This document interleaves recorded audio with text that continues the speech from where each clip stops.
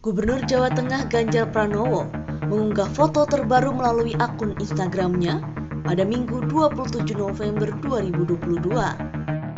Akun @ganjar underscore Pranowo itu menampilkan foto gaya rambut warna hitam. Aksi ini menyusul kode Presiden Jokowi soal pemimpin memikirkan rakyat memiliki rambut berwarna putih.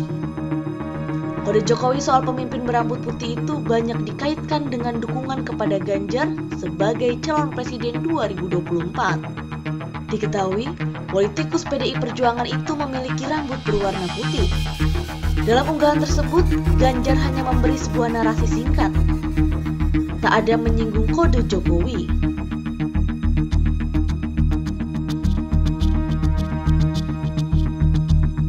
Sebelumnya, Presiden Jokowi mengungkapkan ciri-ciri pemimpin yang memikirkan rakyat.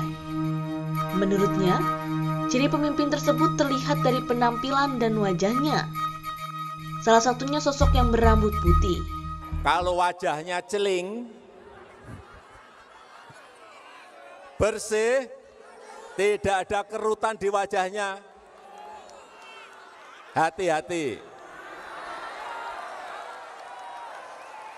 Lihat juga, lihat rambutnya. Wah, kalau rambutnya putih semua, nah ini mikir rakyat ini.